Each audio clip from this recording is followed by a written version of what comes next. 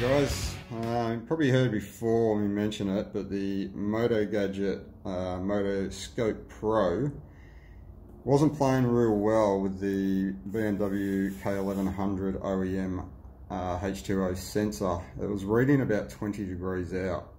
So I decided to do a bit of testing.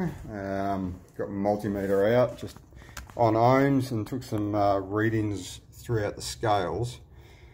I found when I got up to operating temperature around the 100 degrees, um, or actually 120, which is really 100, we're about 30 ohms out. So decided to head down to my electronics store. I got myself some 30 ohm 0.5 watt resistors and I got some 10 ohm as well just in case. I had to bank some up.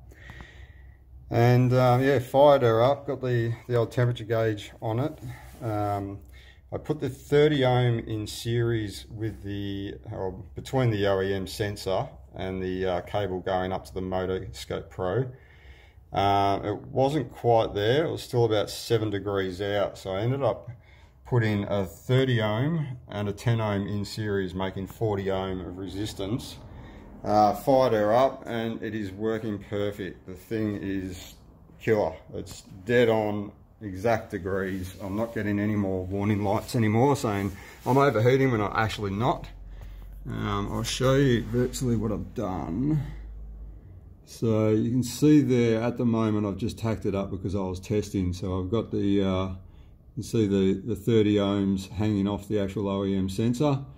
And then I've got the 10 ohm in series with it back to the cable. So I reckon if uh, you get yourself a 40 ohm resistor, 0.5 watt I used, um, we'll put this socket all back together and take all this off.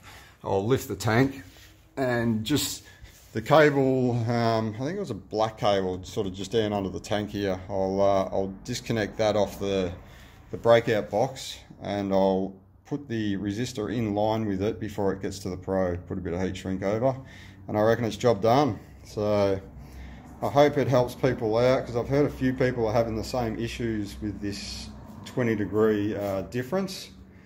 Um, yeah, to not have the warning lights and everything, it's going to be killer. So I've had a few questions uh, whether or not this will actually work all the way through the range, which myself I'm doubting because of the um, the the drop in the resistance, the increments became a lot smaller as it got hotter. So we'll give it a go and see. I'm virtually only worried about when it gets up to operating temperature, but we'll uh, we'll see what the result is. So we're sitting at about 28 degrees at the moment. So I'll kick her over.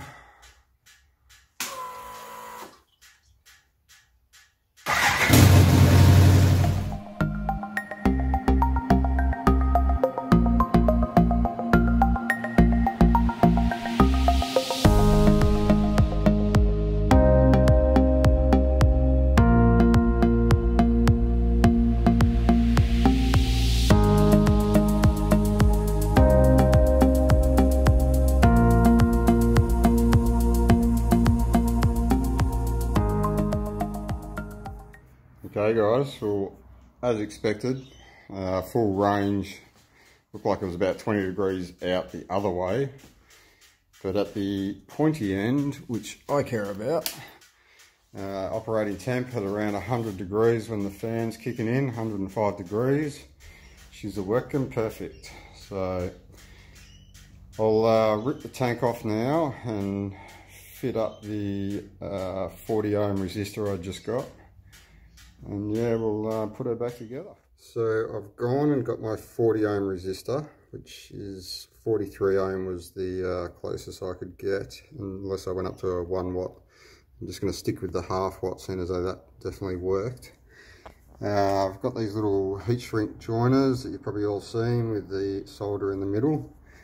So I'm thinking the smallest one here will actually fit the resistor right in it. It actually pushes in. So I might just cut the other side of the tail off, slide that all the way in, slide my black cable from the H2O sensor into it. I'll heat that up. I'll put another little bit of black heat shrink over the whole lot and then this end here will go straight to the breakout box. I'll get that all uh, soldered up and take a pic for you and uh, yeah we'll give it another try.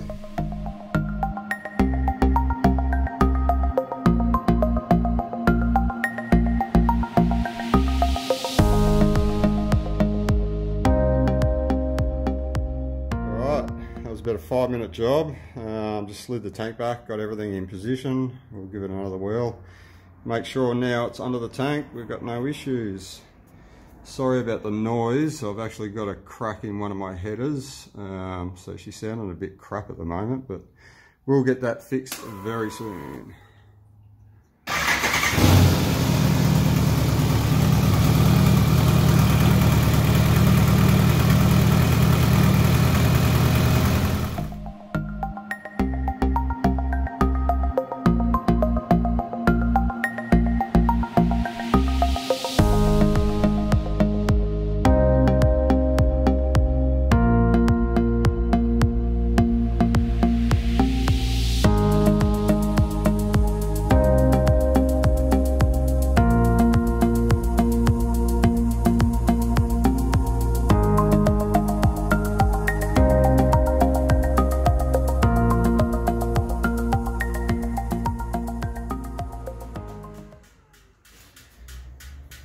Perfecto.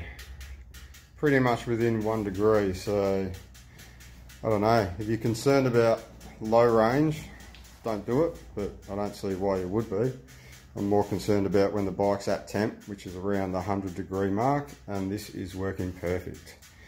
Go get yourself, well, in the end I used a 43 ohm resistor, but I'm sure a 40 ohm, 41, 42, somewhere around there will get you by.